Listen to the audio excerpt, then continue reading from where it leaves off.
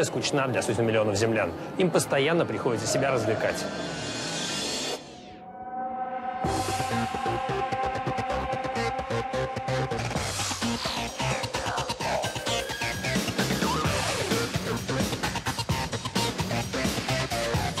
Роскошные машины. Прекрасные женщины. Яхты, похожие на космический корабль. Все это выглядит как настоящее, но радости многим не приносит уже никакой.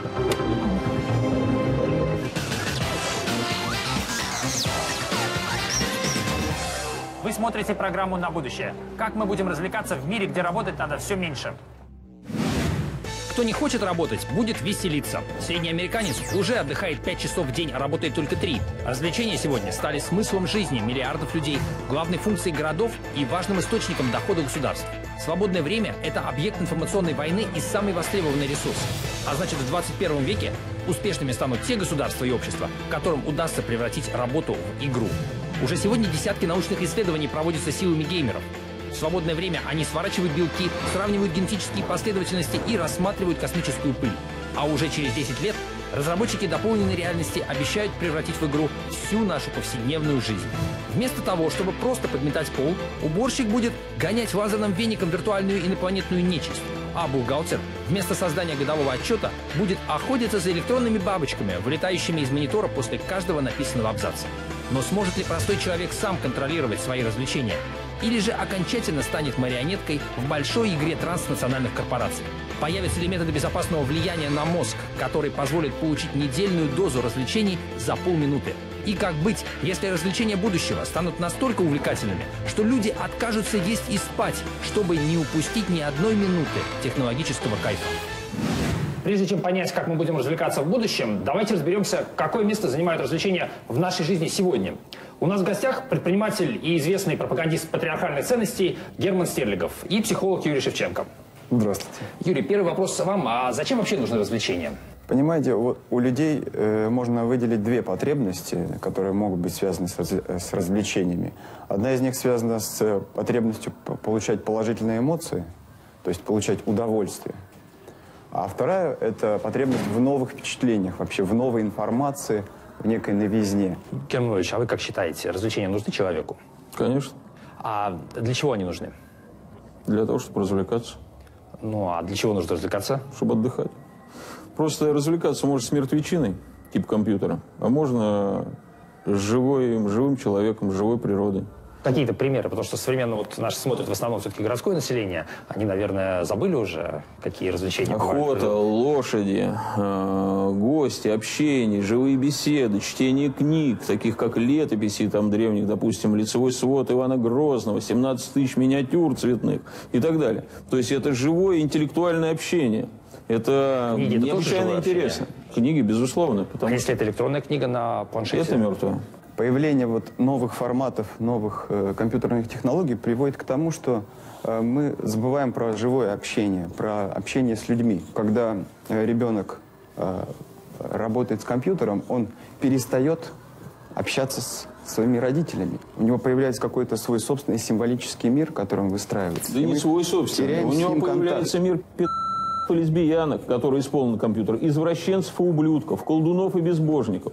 И они его воспитывают вместо родителей, потому что он с ними общается. Правильно я понимаю, что не только компьютер, но и весь современный комплекс развлечений, то есть э, Голливуд, театры, Мерзость вы сатанинская, школа дьявола. Вот вопрос, э, Юрий, к вам. Можно ли сказать, что роль развлечений, она принципиально другая сегодня, чем 100 э, лет назад, 200 лет назад?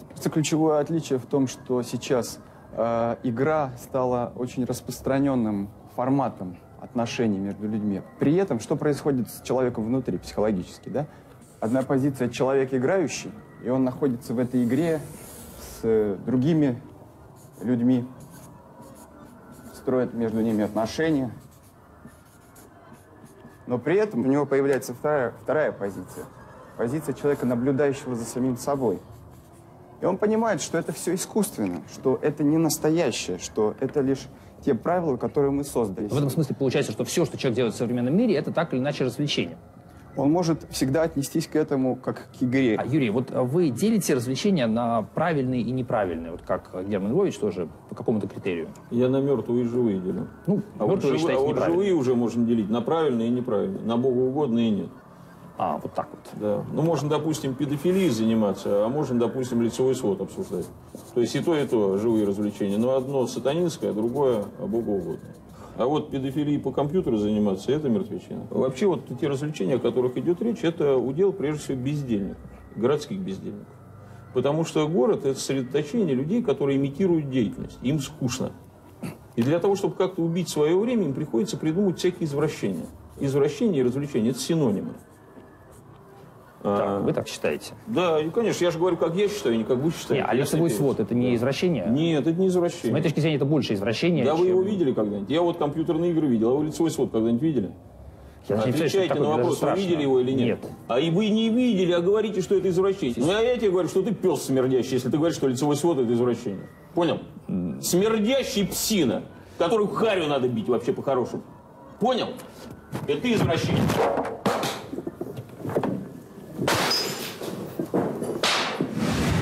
Далее мы узнаем, как развлечения уничтожают звезд шоу-бизнеса и как мы будем развлекаться в будущем.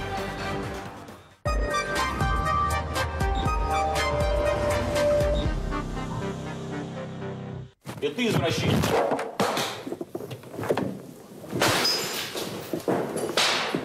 Несмотря на то, что ярых сторонников патриархальных ценностей современное развлечение приводит в ярость, с каждым годом у них все больше сторонников. И сегодня выражение «большой ребенок» не приговор – Инфантилизм вообще называют двигателем экономики, развития человека. И сейчас появилось десятки новых профессий, которыми в совершенстве владеет каждый второй десятилетний ребенок, если дома у него есть компьютер и механические игрушки.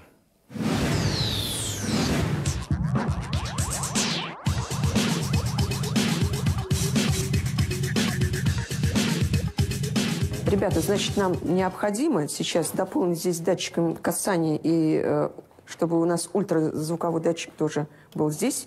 И с датчиком расстояния нужно будет поработать. Татьяна Федоровна ориентируется в деталях детского конструктора как рыба в воде. Это сейчас она счастлива в должности преподавателя робототехники. Предыдущая работа электриком в проектном инженерном институте удовольствие приносила куда меньше. Монотонная работа, выполнение каких-то госзаказов, это освещение, линии, чертежи.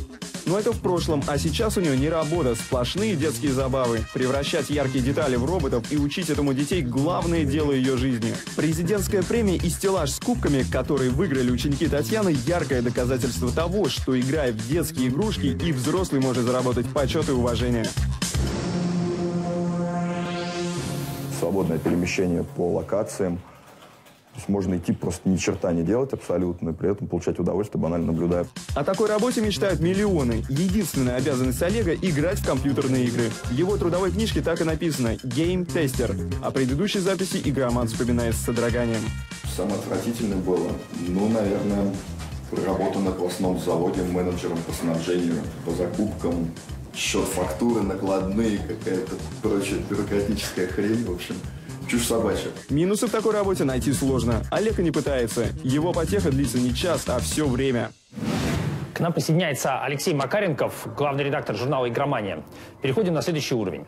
Алексей, расскажите, сегодня игры э, занимают в нашем мире гораздо большее место, чем раньше. Игры интегрируются очень плотно в жизнь. Вот если взять, например, игры в социальных сетях, то, с одной стороны, человек там общается, при этом в любой момент может там, нажать кнопочку, запустить какой-то проект, а, поиграть, одновременно тоже общаясь с друзьями, общаясь с коллегами, общаясь с людьми, которых он не знает, при этом знакомиться с ними. Если так будет продолжаться, то в какой-то момент весь наш мир просто превратится в большой детский сад. Ой, ну а что значит в детский сад? Не надо так сильно утрировать. То есть какие-то простые вещи, которые мы делаем без игрового участия, потому что вот мы говорим компьютерные игры, боже мой, как это страшно. На самом деле игровой процесс – это процесс обучения человека. Игра тем хороша, что она моделирует некие реальные отношения, и проигрывая эти отношения, мы увеличиваем свою готовность и уверенность к тому, чтобы в реальных отношениях совершить нужный поступок. Есть очень э, пассивные виды времяпровождения. Когда ему сверху падает бесконечный поток кристаллов, э, ему нужно просто на зеленый нажимать левую кнопку мыши, на красную правую кнопку мыши. Нет, я не спорю, что есть игры безумно простые, есть игры а их э, доля увеличивается, ведь раньше не было.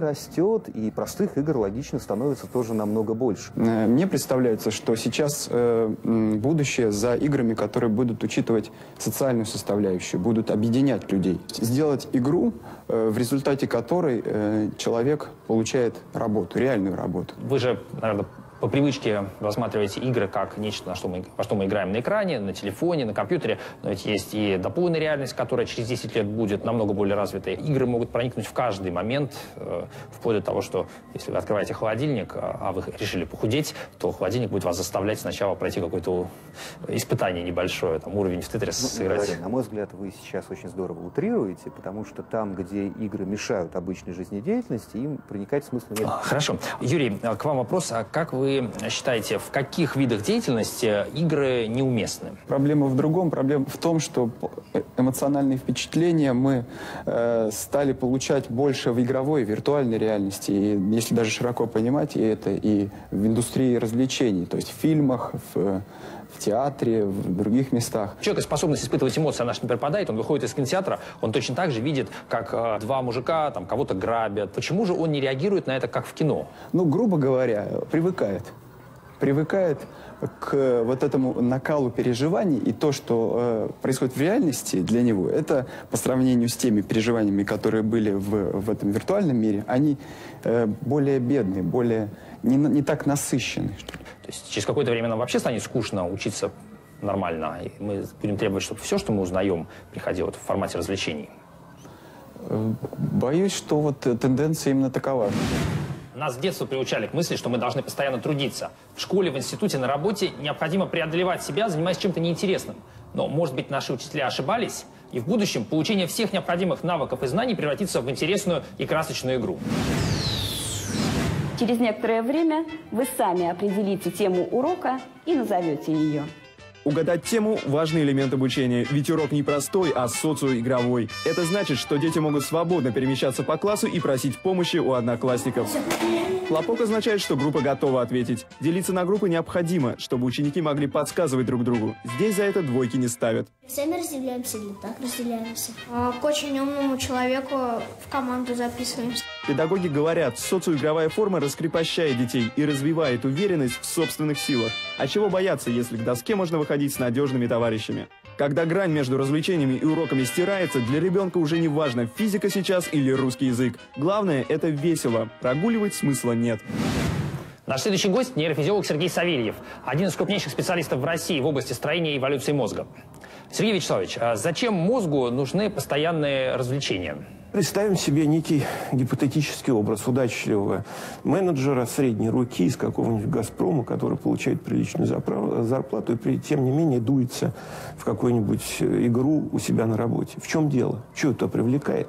Чем он не удовлетворен? Потому что система открыта, он должен до бесконечности повышать свое благосостояние, неважно, что у него там уже 10 миллиардов где-то запрятано, неважно, что у него уже 20 потомков от там, 15 женщин, Неважно, что э, так сказать, его любят и ценят все вокруг, особенно за его деньги, он все равно хочет больше. Любая победа для мозга все равно, имитирующая или реальная, приводит к выбрасыванию эндорфинов, серотонина, он получает райское наслаждение. То есть то, чего он не может в жизни получить годами, в игре, имитирующей жизнь, он получает мгновенно. Правильно ли тогда относить э, игры, как это часто делают, к таким виртуальным наркотикам, сравнивая их с алкоголем, э, с курением? верно.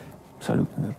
Действительно, игры, поскольку они собой подменяют на биохимическом уровне, на самом древнем, подменяют реальные ощущения, конечно, это, э, это выход, это отдушина. Это то же самое, что религия, только в более изощренной форме, не извращенной а изощренной, потому что в религии, в литературе человек должен себя сам убеждать и имитировать состояние. А компьютерные игры, особенно с хорошими компьютерами, с хорошим зрелищем, с хорошим звуком, со всем остальным, они достигают этого попроще. Юрий, вот э, как вы считаете, можно согласиться с такой характеристикой общества и э, института развлечений, как вот замены церкви и религии в опиум для народа? Ну, у нас теперь опиум – это телевизор, как известно. И самый большой риск, что мы получим э, в обществе какой-то распад общества из-за того, что люди э, не будут социализироваться так, как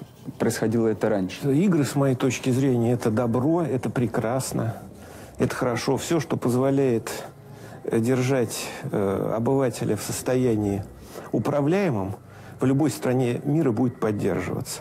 В будущем развлечений будет а, все больше? Развлечений, да, я думаю, будет больше. Если э, цивилизация продолжит развиваться по принципу освобождения энергии, освобождения свободного времени, то, безусловно, игр будет больше. То самое освободившееся время надо чем-то заполнять, и мы будем заполнять его, так скажем, максимальным количеством удовольствия.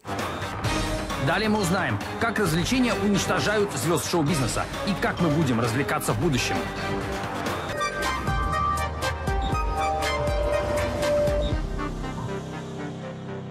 Знаменитости говорят, что шоу-бизнес – это наркотик, от которого сложно отказаться. Артисты, теряющие популярность, как спортсмены форму, переходят в продюсеры. Однако есть люди, которые отказались от мира блесток, фанаток и телекамер и не жалеют об этом.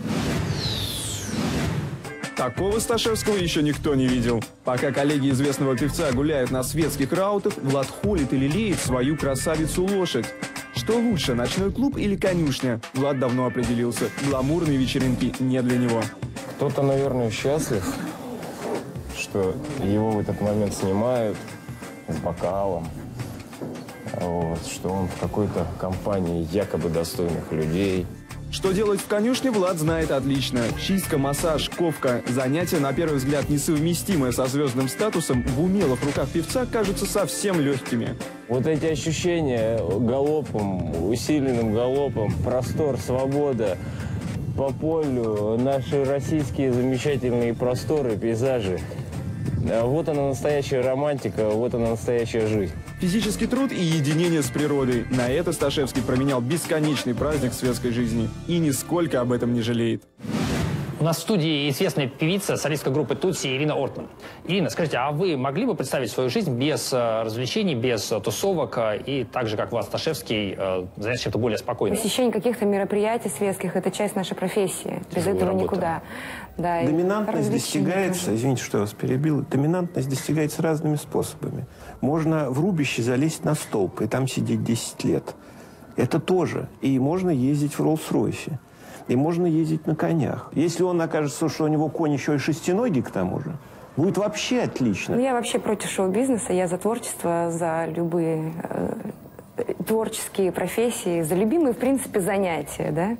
И шоу-бизнес не наркотик. Наркотик – любимая работа в любой сфере деятельности, не только шоу-бизнесе? К сожалению, все шоу, весь шоу-бизнес, извините, построен на том, чтобы обманывать неустойчиво гормональный психический подростков. Ирина, вы согласны, что шоу-бизнес эксплуатирует эту возрастную группу, их психологическую потребность, открывшуюся? Наверное, да, определенная ниша а что играет делать по этим правилам. Ничего, каждый человек выбирает сам. Ничего подобного. Нет, Он просто вы... залезает в карман родителям и идет на концерт. И смотрит все-таки средства массовой информации, да, что навязывает нам экран. Они то, что видят, то и едят, скажем так. То у них же выбора-то нет у да. детей. Видят а постоянно группу ранетки, нас... они вот и идут на, на ранеток. Когда мы говорим о э, шоу-бизнесе, мы обращаемся опять к самым низменным человеческим э, страстям. Шоу-бизнес смотрит на красивую девушку, которая сияет, как пасхальный пряник которая э, имеет прекрасные внешние формы, там, роскошная грудь, длинные ноги. Никто ж не думает, что это там сделано специфическим образом. Неважно. И все очень просто. У нее ничего нет. Она же ведь не столевар, Ей же не нужна доменная печь. Она просто вышла, машет ручками, дрыгает ножками Давайте и поет. ко мне не, это не да, применять, нет, нет, не про вас, что не про вас. я все-таки профессиональный это человек, все... и я с детства училась. Я говорю то, что видят дети. Они же видят картинку, учиться не надо. Ну, ноты выучить надо. Ну, там, это так предполагается где-то на заднем плане. Но вообще там можно нанять людей. И какой прекрасный результат, доминантность, которая достигается сразу, мгновенно. В 16 лет открыл рот и запел – Естественно, их тянет туда тысячами, потому что они видят решение всех своих проблем. И Ирина, вы можете вот для всех, всех кто остальных. нас смотрит, а, прямо сказать, что это не так? Это не так, это большой труд. Представьте себе, что в будущем каждый человек сможет действительно петь не хуже, чем Ирина, благодаря тому, что у него вот здесь вот там чип стоит, не который управляет его голосовыми связками. Караоке. Ганин, уже сейчас существуют такие технологии, когда вот приходит, правильно господин сказал, что по ноткам, по буквам начитали и тебе собрали. По мнению многих радикально настроенных мыслителей, человечество слишком увлеклось легкой жизнью и погоней за постоянными развлечениями. Труд сделал из обезьяны человека, продолжают считать они, однако люди, которые неистово трудятся с утра до вечера без отпусков и выходных, сегодня это уже считается заболеванием. Счастье в труде. По такой формуле живет большинство граждан Японии. Правительство страны восходящего солнца явно относится к меньшинству и видит в чрезмерном рвении японцев сплошные несчастья. По неофициальным данным, в Японии ежегодно от переработки умирает свыше 10 тысяч человек. Увеличение количества национальных праздников. Такую вакцину от трудоголизма власти прописали своему народу. То, что в России смертность только увеличивает, в Японии может спасти не одну жизнь. Хотя сами японцы к такой инициативе относятся без энтузиазма. Я очень люблю работать, отдыхать буду в старости, и то, что правительство хочет, чтобы мы работали меньше, это глупости. Лично я меньше работать не собираюсь. Трудолюбие для нас, японцев, часть национального характера, и я горжусь этим. Это, конечно, патологическое состояние. То же самое, как э, бегать, например, по столице нашей Родины со спущенными штанами непрерывно. Это из этого из этой же серии. То есть, когда непрерывно, значит, человек ищет себе сексуальных развлечений до полного э, истощения. И это особенность мозга, которая так закольцовывается, как в случае с шизофрениками, на определенную э, систему ценностей. Вот у вас, например, вообще не бывает таких проблем, что э, эффект наркотической зависимости, эффект наркотического кайфа, то, что мы говорили, от развлечений. Вот, и так, эта проблема вообще Я нет. получаю удовольствие от работы.